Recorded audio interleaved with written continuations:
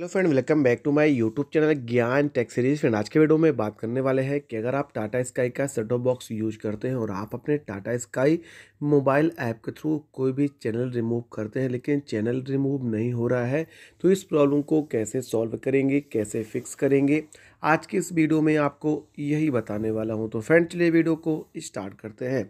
जैसे आप अपने मोबाइल के टाटा स्काई ऐप से कोई भी चैनल को रिमूव कर रहे हैं, लेकिन रिमूव नहीं हो रहा है, इसके लिए सबसे पहले आपको अपने मोबाइल के प्ले स्टोर पर जाना है।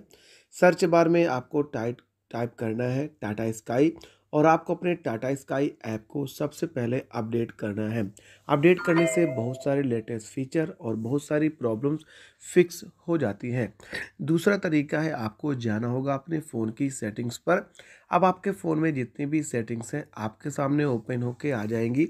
थोड़ा सा नीचे जाएँगे, यहाँ पर आपको देखने को मिलेगा ऐप्स का ऑप्शन, ऐप्स पर क्लिक करेंगे। अब आपके फ़ोन में जितने भी ऐप्स इंस्टॉल हैं, सभी ऐप्स यहाँ पर ओपन होके आ जाएँगे।